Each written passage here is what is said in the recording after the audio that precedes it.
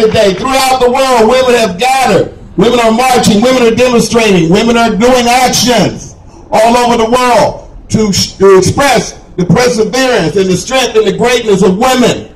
Without a woman, I wouldn't be here talking to you today. But unfortunately and sadly, a lot of the women that I represent and work with in San Francisco, homeless women, cannot join us in this celebration today. We're standing right here in front of a symbol of state violence. And every day, homeless women are experiencing state violence. I'm talking about in this country, 40% of the homeless are women. We're talking at least 50,000 women. In San Francisco, the homeless population, out of that, 2,000 are women. 3,300 children are homeless. 1,300 families are homeless and headed by women.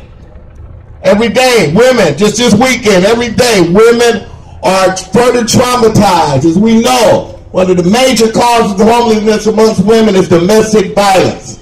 They suffer that, they're traumatized by that, and then they're forced to live